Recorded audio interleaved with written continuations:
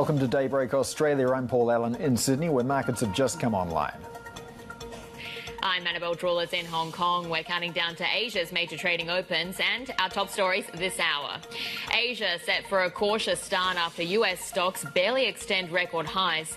China's boldest moves yet to stop a market round facing a wall of skepticism from investors. Netflix rising after the bell on its best customer gain since the pandemic surge. Meanwhile, Texas Instruments gives another lackluster forecast. Plus, Bloomberg learns that Apple is dialing back its decade long ambitions for a self driving car as a release date continues to slip. Right, uh, we've just opened for trade here in Australia, as Belle mentioned, and we're a little bit to the upside here in the very early going, better by a tenth of 1%. Of course, we do have that staggered open here, so let's see how the morning unfolds. But uh, following on from uh, some modest gains for most of the US markets. Not a great deal of movement in the bond space here at the moment. Uh, yields just creeping up ever so slightly, and the Aussie dollar's been moving a little higher as well. Uh, right now, uh, 65.83 against the greenback. We did get some data out of Australia a short time ago, uh, Judo Bank Australia PMIs. Uh, that showed some improvement as well. The composite number 48.1, so we're still uh, below 50, uh, but manufacturing PMI has moved above 50, a reading there of 50.3. That's a partial read for the month of January.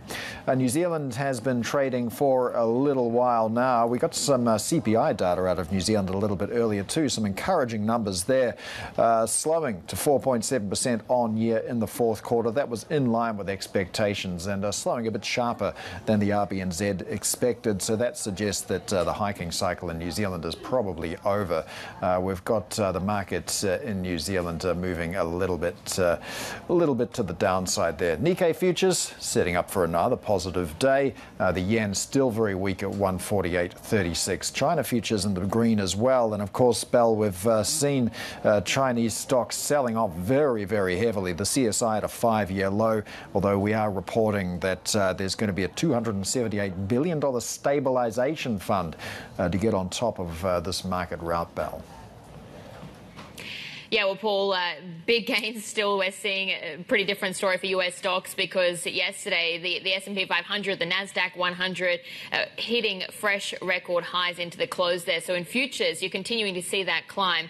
Uh, there's the focus, of course, on the New Hampshire primary to wait for. There's as well the, the, the bigger focus, perhaps coming down to earnings. A pretty mixed bag during the session. We had United Airlines, Procter and Gamble among the gainers. Uh, but let's take a look at after hours as well because there's a focus on on Texas Instruments. Pretty weak forecast from the company, so you can see that stock is continuing to slip in after hours. Netflix, though, really the one to be watching as well because it's jumping. Uh, subscriber growth, that topped estimates, so a very strong surge, best numbers we've seen since the early days of the pandemic. Uh, the other one to watch as well was was its continued foray into into video games. That's something to note, but also a, new direction of sorts because Netflix uh, acquiring those rights to, to World Wrestling Entertainment Programming, Paul. Yeah, Netflix, uh, very rich news flow coming out at the moment, uh, as you mentioned, acquiring those rights uh, to WWE programming. This is its first big move into live events. Uh, Bloomberg Intelligence says its solid results show a new advertising tier and page sharing initiatives uh, are working as well. The senior media analyst Geeta Ranganathan joins us now more to unpack these results. So, uh, Geeta, strong fourth quarter from Netflix. question is, can it keep this going into 2024? Yeah, it was a near perfect, uh, you know, scorecard from Netflix, uh, whether it was the subscriber momentum and all of the other financial metrics as well. And going into 2024, yes, we are definitely going to continue to see growth. I think the one standout that we saw, Paul, from the earnings report was their operating margin guidance. Uh, and, and, you know, they were guiding initially to about 22 to 23 percent for 2024. They actually moved that up to 24 percent. So just kind of goes to show uh, that they have, you know all the stars are kind of aligned for this whole Netflix bull thesis to play out. Uh, and that's exactly what I think we're going to see happen in 2024. Yeah, and, and the big focus as well, Geeta, was on on the the step that, that Netflix is taking in a, bit of a new direction here. It came ahead of the earnings results, but essentially this $5 billion bet on live events. We heard from the, the Netflix co-CEO in the earnings call. Take a listen. Live event programming is something we've talked about for quite a while, and this has been in the works. So you should look at this as fits inside of our $17 billion programming spend now. I would not look at this as a, a signal of any other change or any change to our sports strategy. So acquiring those rights to Raw, to, to other programming from World, World Wrestling Entertainment, is that something that helps Netflix, do you think? I think it absolutely does. I mean, they've been kind of, uh, you know, experimenting with different content genres live sports is not something that they had really ventured into so far. But I think now that they have an advertising platform, now that they are selling advertising, uh, you know, it, it, definitely makes sense for them to go after sports because, you know, with sports, you know that that content really plays well and it really attracts a lot of ad dollars. It, it attracts a lot of ad- advertisers to the platform. Uh, and, uh, you know, what they need to do now is to kind of really invest in their content. And that is what this WWE deal really helps them do. Uh, uh, you know, invest in content, kind of get the scale up of the ad based users and then be able to actually sell all of that ad inventory to the advertisers. It's not cheap content, though, is it? The WWE deal about uh, $5 billion. Does this suggest going forward there's going to be uh, a risk of higher content spending from Netflix? Yeah, so they were asked that question. I mean, yes, it is $5 billion over a span of uh, about 10 years. So that's about 500 million every year. Uh, they said that it's actually going to be within their content budget. So uh, this year, they're projecting about $17 billion in content spending. They did say that that will inch up, uh, you know, a little bit as we kind of get into 2025, 2026. Uh, but they don't, they didn't, uh, you know, project any massive increase in spending. And they said it's going to be in a very, very disciplined disciplined and very, very cautious and measured uh, manner.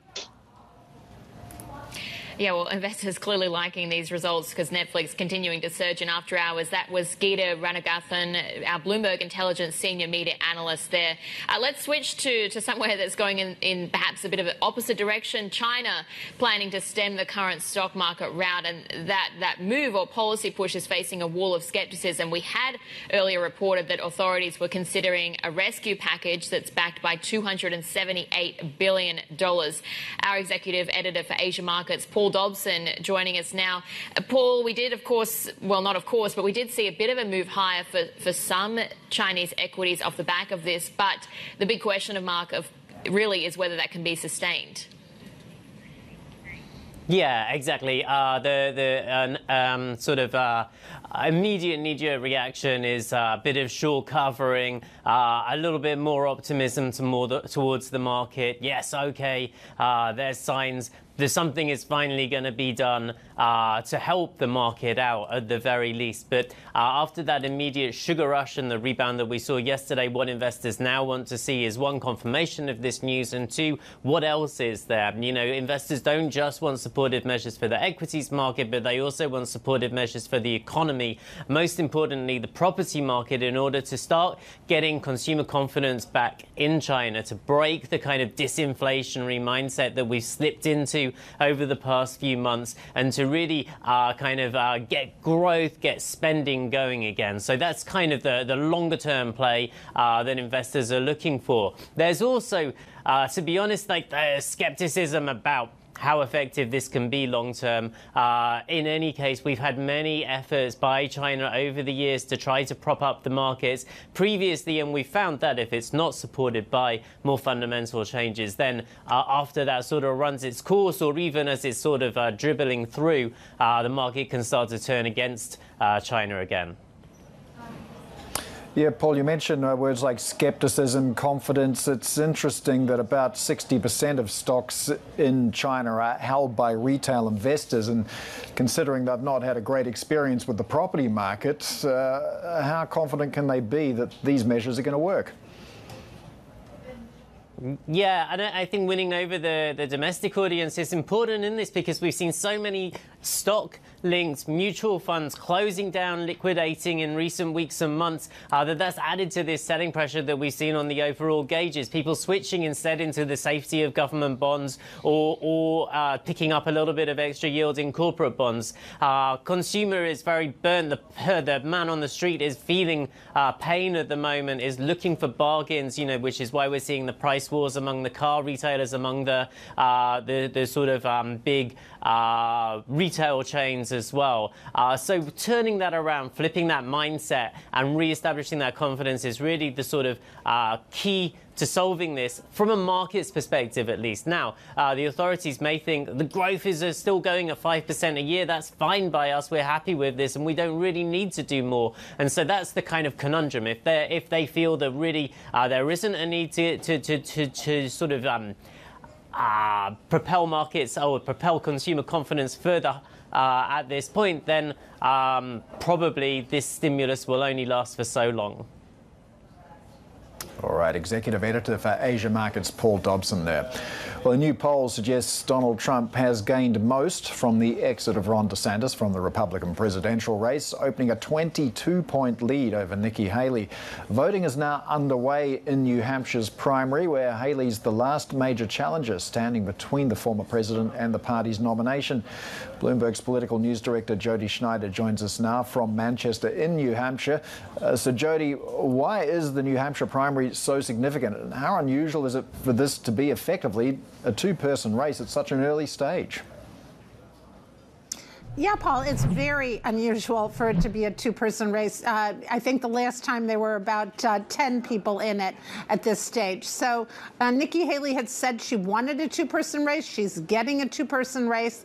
But of course, with the challenger like Donald Trump, it's an, it's an uphill fight for her. We've heard uh, today uh, reports of pretty strong turnout, particularly among more moderate and independent minded voters, which will help her because those are the kind of voters uh, that she appeals to. Uh, and she also appeals to voters who don't want to vote for Donald Trump. So uh, we will see the polls close. All the polls close here uh, in a, more than an hour, and uh, we will then get start getting the results. She needs to have a very good night tonight uh, to make it uh, to really have that kind of momentum behind her that will continue to make this a, a, a successful or at least an interesting two-person race. She said today she was going to stay in the race to South Carolina, that she will not not be dropping out, although others who have dropped out have said, before, uh, sometimes just days before, that they were going to stay in the race. Yeah, so what, what do you think is going to really constitute a success for Nikki Haley tonight? What's sort of the, the bottom line going into it? Maybe she doesn't win if she gets close. Is that something that's still seen as a positive or enough? Well, if she wins, yeah, if she wins, that certainly sets up a whole different dynamic, and that really kind of um, makes this, uh, you know, th- this continues this battle with Donald Trump, and of course that's what her campaign hopes. Uh, New Hampshire has it's famous for giving, uh, for surprising, for really um, having a, a, different result than the polls had shown. However, um, some analysts we've spoke to today said they think if she's obviously she'll be second uh, if she doesn't win, but that if she comes in a strong strong second, say within five percentage points, that that's a good showing, and that she can say that shows that she can be competitive to Donald Trump, that he is not uh, the effective uh, nominee at this point. If she does, uh, she trails him badly in second place, that isn't a good sign. And the next big race is South Carolina, which of course is her home state, but Donald Trump is already doing very well there.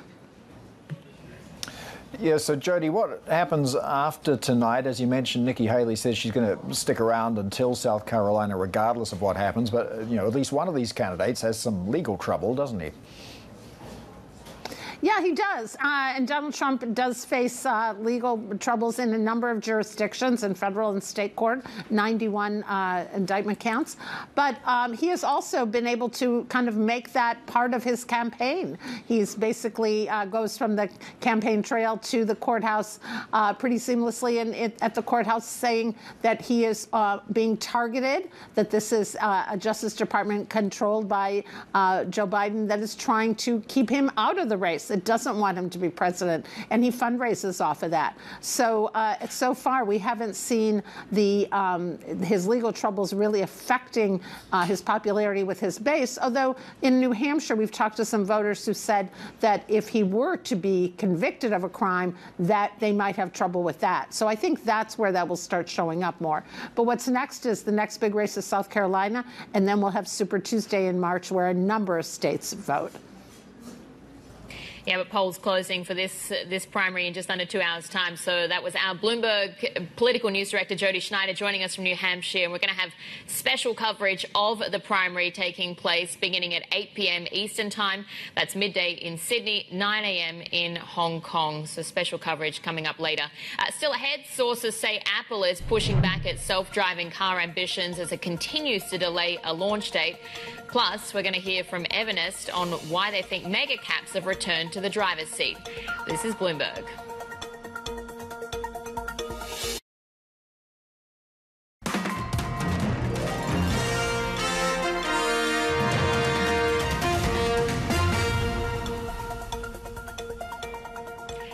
Watching Daybreak Australia, taking a look at some of the big movers in the session intraday because we're seeing futures pushing higher, but the focus really coming down to earnings and, and what companies were signaling about the outlook. So United, for instance, one of the big gainers, posting an outlook that beat. Uh, Procter & Gamble as well, their, their profit outlook really helping offset the slower sales growth that we're seeing for the company. So both of those among the big gainers intraday. To the flip side, we had the likes of Johnson Johnson, for instance. It's, uh, it's slid, device margins dropping, drug sales as well seen falling. 3M, uh, that's that's the most that we've seen it down in almost five years, and it was a disappointing outlook for the company. After hours, again, it's a pretty mixed bag coming through, but two of the ones we're really watching in particular. Firstly, there's Netflix uh, really rallying because its user numbers indicating further support for the company. Uh, most subscribers we've seen signed up to the streaming giant since the days of the pandemic, the early days as well. Texas Instruments, meanwhile, a bit of a weaker forecast, so one to really be watching, especially with those chip makers that are listed here in Asia. But NASDAQ futures, again, uh, con- continue continuing to push higher. So it does indicate just how much optimism is already being priced into stocks. Uh, let's get more on that now. Our next guest says the recent moves in US equities show mega caps are back in control, particularly tech. With us now is Dana D'Auria, co-CIO at Ever- Envestnet. Dana, lots of moves that we've seen really starting back in October of last year. Do you think that it's going to really live up this earnings season to sort of some of the hype and the positivity that's already been priced in at this point? Well, I think so far we're seeing that maybe we're not getting that right. So, I mean, we're only a week in. Um, it's kind of early days to to make predictions, of course. But I would say that thus far, at least, what we've seen is maybe a little bit more lackluster than where we started the year. Um, growth expectations uh, for the S&P 500. Not to say we're not going to get, you know, 2023 double digit, um, you know, at the end of the year. Uh, I think that's a foregone conclusion, but um, you know, not not certainly not surprising greatly to the upside. And you know only a few sectors kind of um, possibly maybe beating where the estimates were in january. So i think you know it's not a bad earnings season by any stretch that's in front of us but it's not anything that's sort of uh, greatly surprising people in a positive way. And if you think about the fact we came into the year with pretty high earnings multiple in the S&P 500, 19 times. Uh, you know, there's not a lot of room in there, right, in the in terms of the pricing uh, for anything other than you know fantastic surprises to kind of uh, positively impact the market. Yeah, so when you sort of couple that, and then you've also got expectations for Fed rate cuts that are being pushed back, what does that tell you about the trajectory of the, the bull market that we're seeing then? Is it something that's going to start to fade perhaps?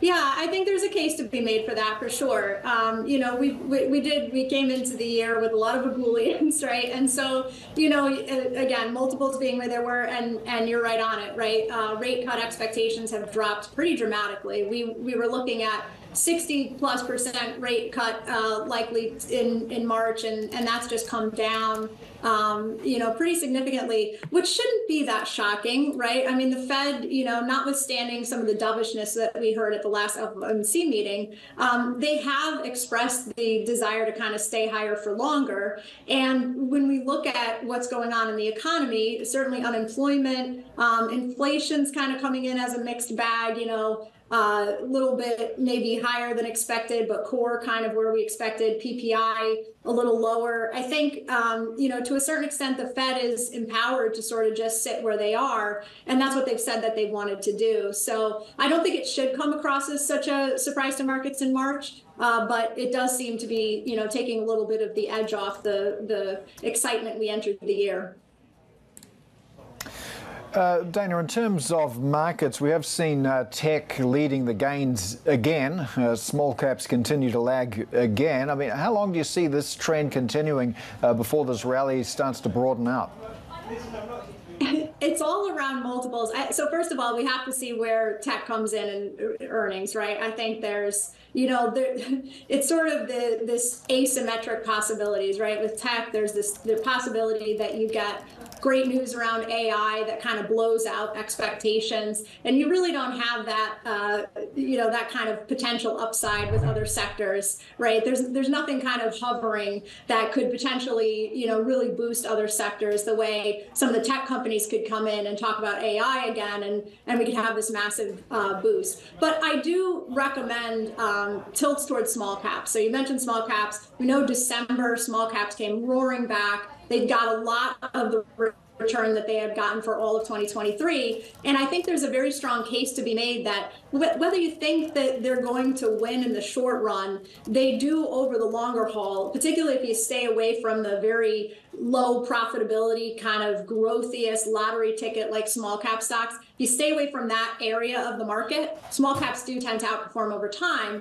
And they're nice also, particularly small value, they're a nice hedge against inflation, uh, which we don't, we, we really don't know for sure that we've completely conquered, right? We know that inflation tends to come in waves. So I think not, not that you're going to have a small cap portfolio, but when you're thinking about tilts in the portfolio, having, making sure that you're full mm-hmm. market, that S&P is not your entire uh, holding, I think makes sense.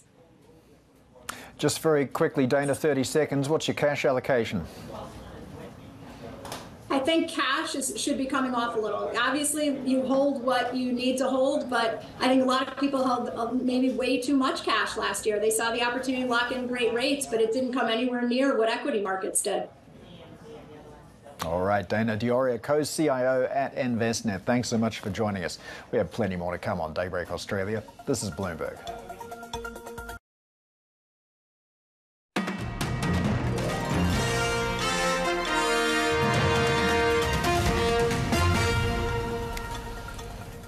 Okay, let's take a look at how we're doing on markets at the moment here in Australia. Saw modest gains to the upside, about a fifth of 1%. Gold mine is doing pretty well, and the lithium miner Liontown Resources also in positive territory after having a, a rough week or so. Uh, we're just getting some data out of Australia as well. It's the Westpac leading index for December. Uh, slight contraction there, very slight though, um, of 0.04 of a percent, reversing the gain uh, for that index that we saw back in November. The New Zealand stocks, meanwhile, are backing off a little by a third of 1%. We had CPI numbers out of New Zealand a bit earlier. Uh, inflation slowing pretty sharply to 4.7% on year in New Zealand, although that was in line with expectations. Nikkei futures looking kind of flat at the moment. Uh, the Nikkei's been performing very strongly of late, as we know, and E-mini S&P futures are trading uh, modestly in positive territory at the moment also. Now let's get back to one of the top stories out of the US in terms of earnings. Netflix very strong report, signing up more than 13 million customers in the final three months of 2023. And that's its best quarter of growth since viewers were stuck at home in the early days of the pandemic.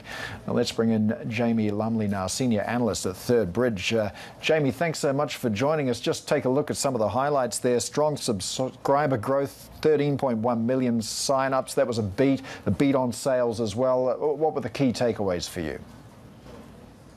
So the key takeaways on this is really that Netflix knocked it out of the park. I mean, if we break down the various sets of numbers here, Netflix saw double-digit revenue growth. It saw an operating uh, margin, which other streamers are going to be envious of. And in the subscriber number, as you highlighted, this is one of the best quarters in years, seeing growth not only in its core US and Canadian markets, but also in Europe, Asia Pacific, Latin America, all seeing remarkable year-on-year improvements and also demonstrating that key initiatives such as the launching of the ad-supported tier and also the crackdown on password sharing has really taken effect for the company.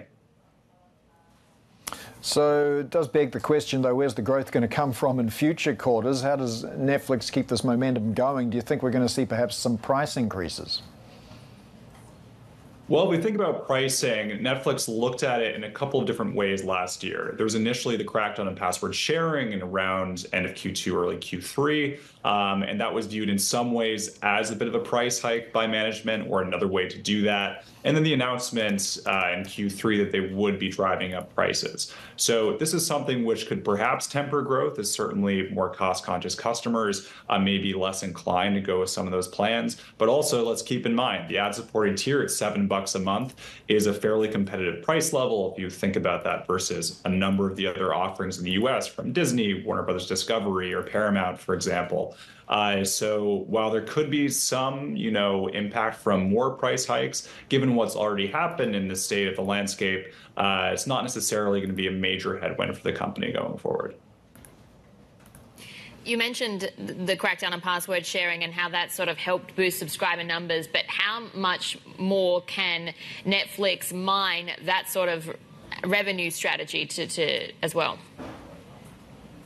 It's a great question. And if we think back to before Netflix started this off, they estimated that there were 100 million households which were sharing Netflix accounts. And if we look at the growth numbers over the past two or three quarters, uh, it still hasn't gotten close to that 100 million total. What we've been hearing here at Third from the experts we speak with is that Netflix could likely, in the mid to long term, tap into 50% of those households. So if we think about the progress the company has made, it's still only scratching the surface in terms of that subscriber growth potential.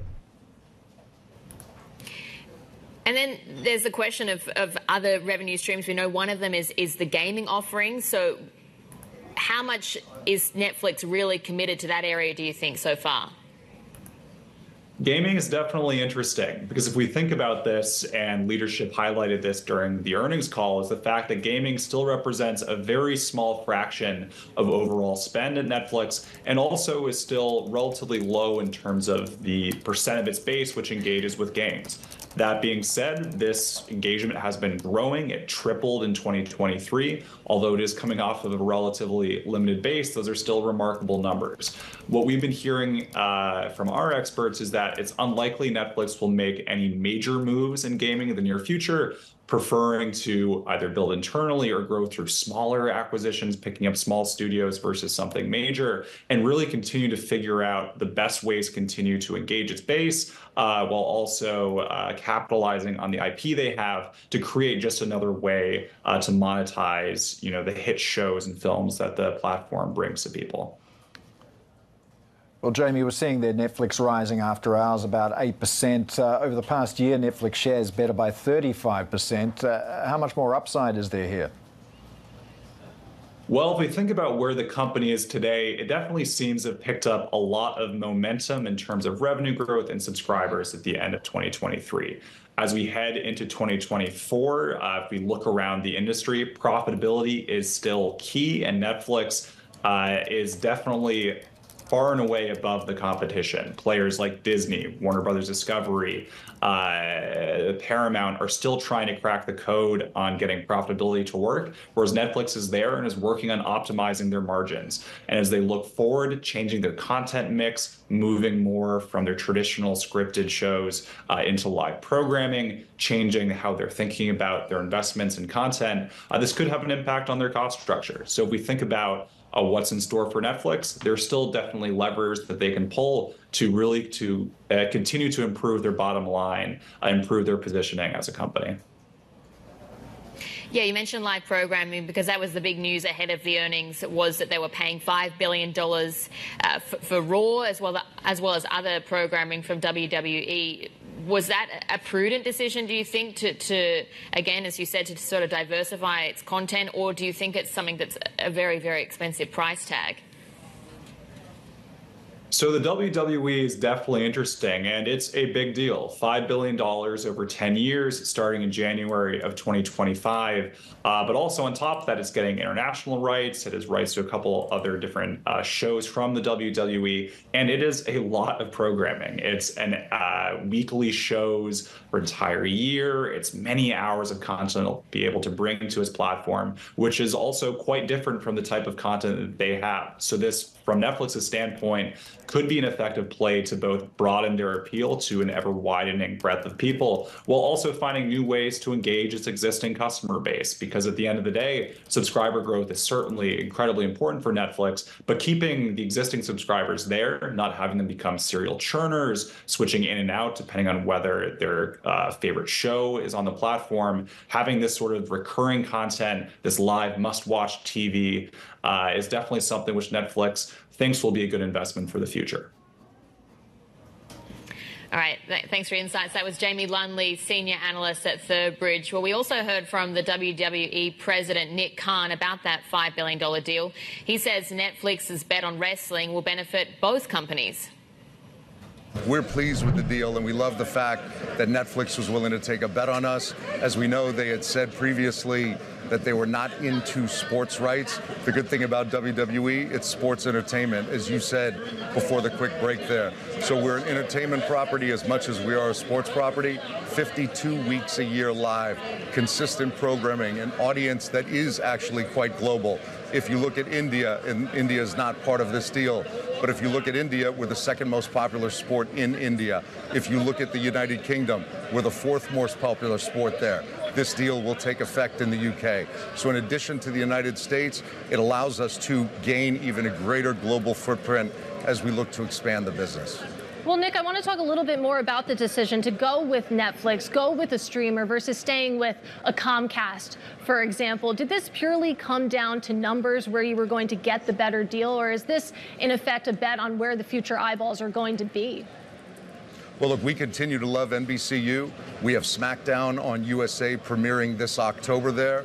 We have our premium live events, formerly our pay per views, like WrestleMania on Peacock exclusively in the United States.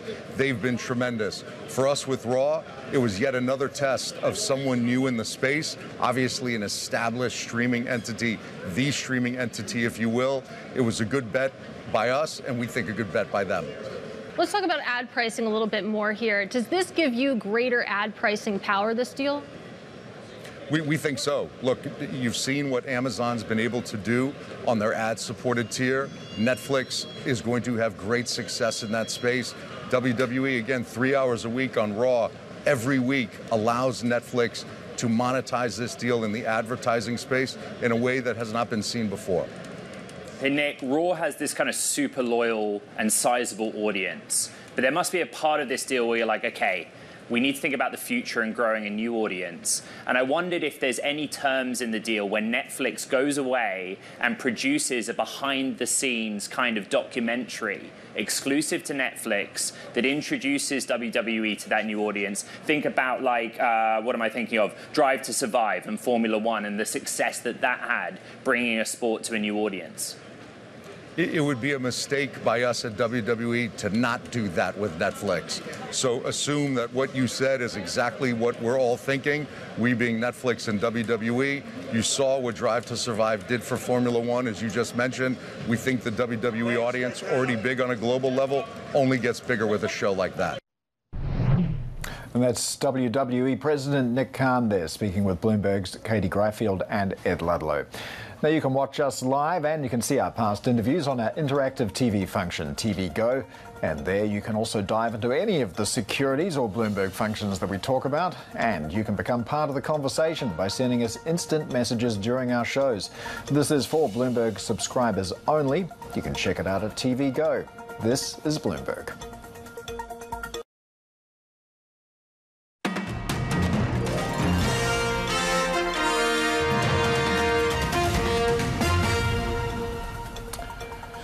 A group representing oil and gas tanker owners say the U.S. has advised ships that continue to transit the Red Sea to do so with great care.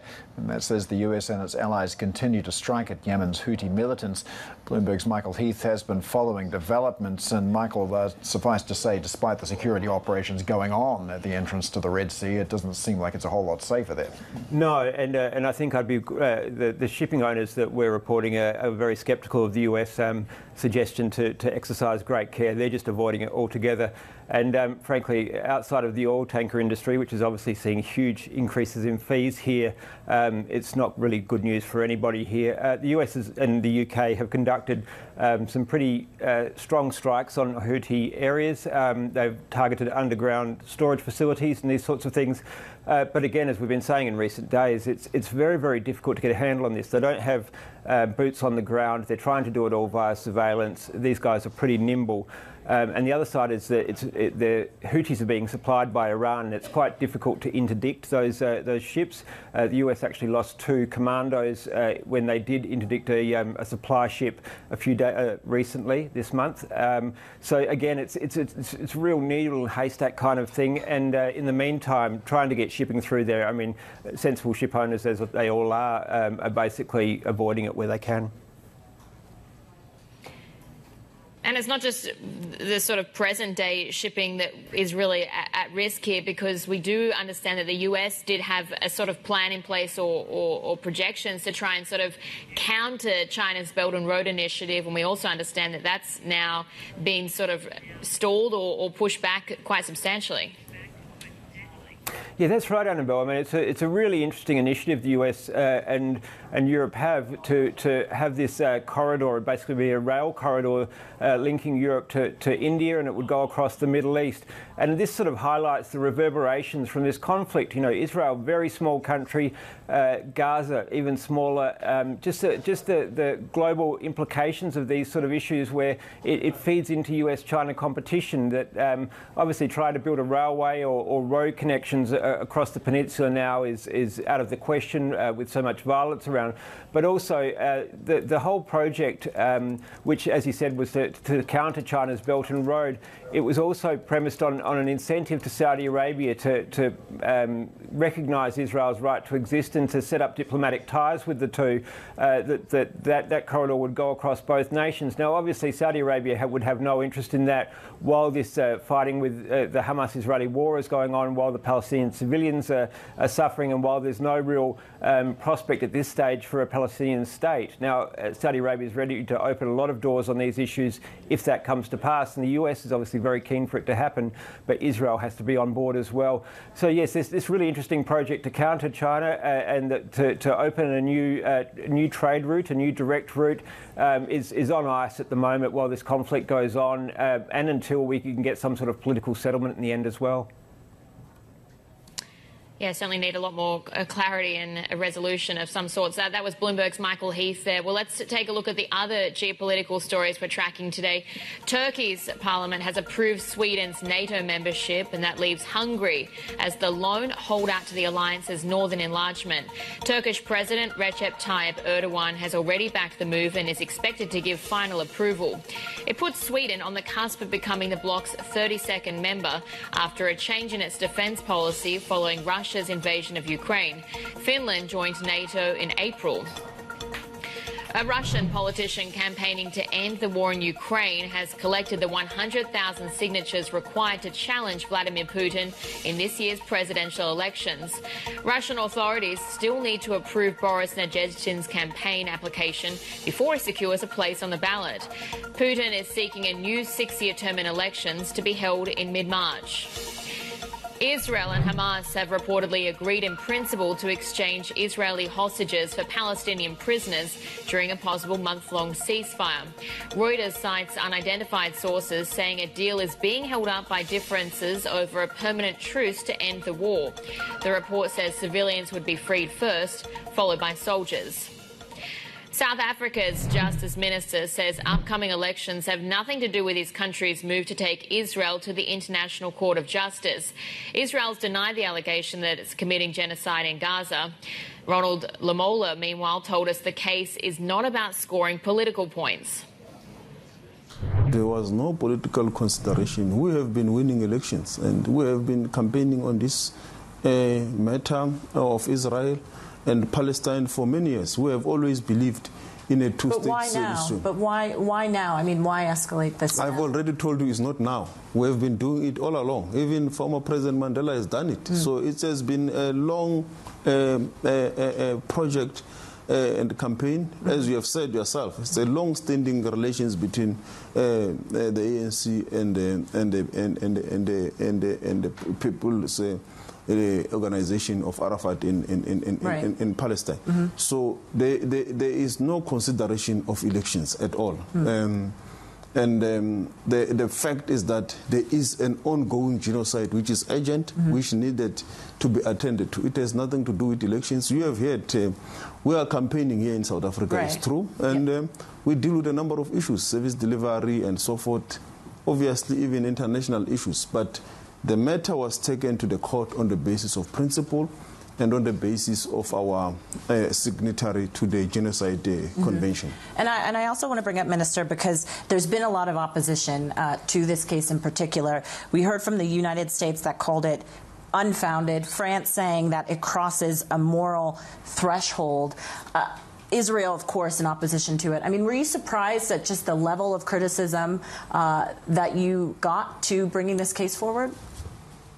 Yeah, we're not really surprised. You're the not only thing that surprised us is that it was not uh, dismissed by substance, particularly by the US. You can't dismiss an 84 page uh, document with just three lines that it, uh, it has got no substance, it meritless, and so forth. They need to provide a compelling argument, provide substantive documents so that everyone can be able to see what is their point, what is the argument. It can also be, be engaged upon by both academics, intellectuals in the space, even the court itself. So anyone who has got a different view, that is what must do. And that is what South Africa has done. We have followed the rules of the court. We have um, uh, well detailed, forensically submitted our submission. That is what we expect. That will, will be what shows respect to other states. You can't just dismiss it with uh, three sentences. So it must be intellectually engaged. So we continue to engage with um, all the role players in the space, and um, we believe that the superior logic is what must uh, must prevail. That was the South African Justice Minister Ronald Lamola speaking with Bloomberg's Jennifer Zabasajja. Uh, let's take a look at some breaking data that just came out for Japan. We've had the trade balance numbers coming through from December, and we saw a significant narrowing for the trade deficit. So coming in at 62 billion yuan in December. Uh, that is significantly lower than what we had in the month prior here. Exports, meanwhile, we saw those rising at nearly 10% on the year, so an increase as well from November. And then also we saw imports in contractionary territory, but but narrowing from the prior month, so down around 7%. Uh, it was down nearly 12% in, in November as well. Uh, really, that focus on semiconductor exports, uh, providing perhaps a little bit of a boost here to the numbers. More ahead, this is Bloomberg.